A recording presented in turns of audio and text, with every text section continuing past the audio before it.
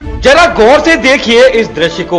ये दृश्य है मथुरा तहसील दिवस का, जहाँ लोग आते हैं अपनी फरियादें लेकर और वहाँ मौजूद और संबंधित अधिकारी फरियादियों की फरियाद सुनकर उनका निस्तारण करते हैं। अमूमन यही होता दिखता आया है, लेकिन इस बार कुछ अलग ही नज़ारा देखने को मिला।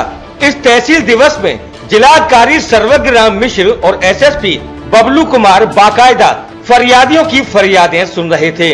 अब जरा दूसरे दृश्य पर गौर फरमाएँ।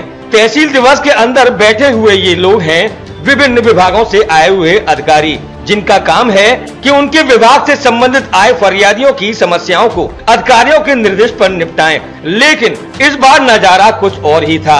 ऐसा लग रहा था कि ये मथुरा तहसील दिवस नहीं, बल्कि मोबाइल दिवस मनाया जा रहा है। अब जरा गौर फरमाए इन दृश्यों पे।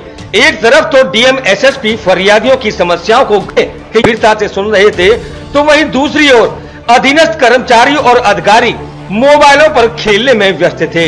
कोई गेम खेल रहा था तो कोई चैटिंग कर रहा था, कोई व्हाट्सएप देख रहा था तो कोई फेसबुक चला रहा था। इन दृश्यों को देखकर आप क्या यही कहेंगे कि ये तहसील दिवस है? नहीं जनाब, ये दृश्य देखकर तो ऐसा लगता है कि तहसील दिवस में मोबाइल दिवस मनाया जा रहा है।